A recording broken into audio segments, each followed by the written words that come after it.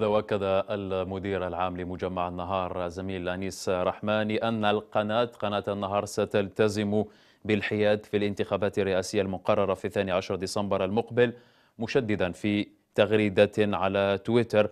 قال أن القناة ستشجع الجزائريين على الانتخابات وتقرير مصيرهم بانتخاب رئيس جديد يجسد طموحات الشعب الجزائري.